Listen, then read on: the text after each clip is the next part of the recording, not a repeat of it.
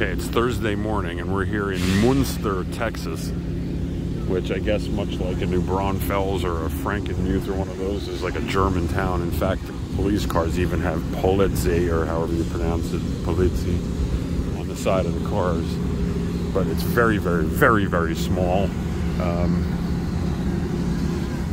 got a little meat market here and there's like a coffee shop next door. There's a couple old German restaurants. We're gonna see if we can't find ourselves a quick bite to eat and then get back on the road towards Albuquerque.